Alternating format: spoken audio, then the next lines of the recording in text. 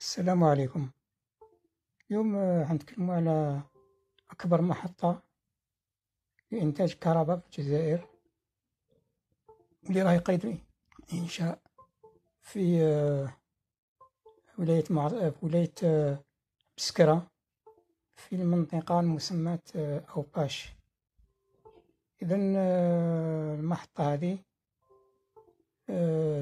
تنتج 3300 ميجاوات.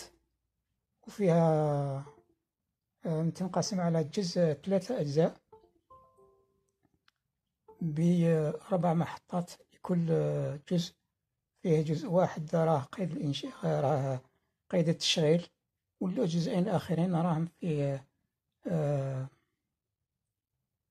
مراحل متقدمة من الإنجاز. وعندما نعرف باللي هذه المحطة تنتهي الأشغال بها تولي الاكتفاء الذاتي مئة بالمئة بالنسبة لإنتاج الكهرباء في الجزائر. وخاصة خاصة ونحن نعرف أن المحطة هذه جاية في وسط البلاد في منطقة بسكرة والأهمية الكبيرة للكهرباء في الاقتصاد قبل ما يكون في الاستعمال المنزلي هو آه، مورد آه، هام مورد طاقوي هام. في آه، تطوير عجلة الاقتصاد الوطني. وهذا آه، شيء آه، مفرح جدا. وكذلك ما نخبيش عليكم أن فيه طموحات كبيرة باش الجزائر تولي تصدر الكهرباء إلى دول أوروبا ودول الجوار. الإفريقي وكذلك خاصة عندما نعرف بأن المصنع نتاع إنتاج التربينات نتاع باتنا راه قيد الأشغال. وبه اللي تزيد تطور الطاقات نتاع الإنتاج نتاع هذا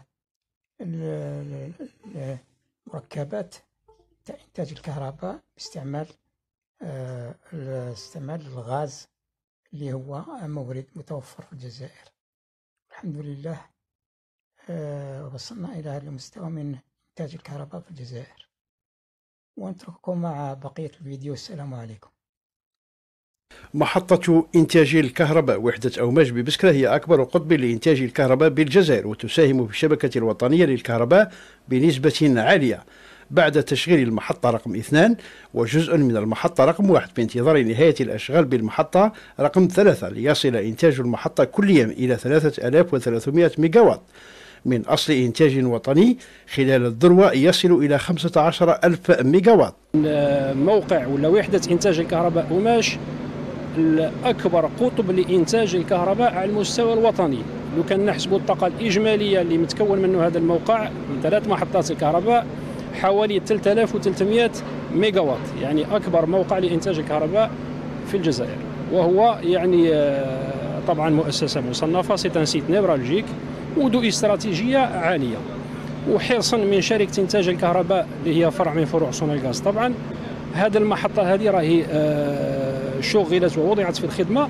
يعني لتلبية متطلبات الشبكة الوطنية. من جهتها السلطات المحلية تعهدت بتوفير كافة الإمكانيات لوضع المحطات حيز الخدمة في أقرب وقت. ثلاثة واحد واثنين وثلاثة. رقم اثنين راه déjà في في العمل. رقم واحد فيه آه، نسبة كبيرة أربعة توربينات déjà راهم en production بقاو لنا فيه زوج اللي إن شاء الله يكونوا في شهر أفريل. آه، منتهيين بها بصفة عامة. ومشروع راكم تشوفوا الأشغال انطلقت فيها. هذا المشروع يعتبر ذا أهمية كبيرة جدا جدا. هي مشروع عصبي لبلادنا الجزائر. ووفق تصريحات المسؤولين فإن الجزائر خلال الفترة القادمة ستحقق فائض في إنتاج الكهرباء.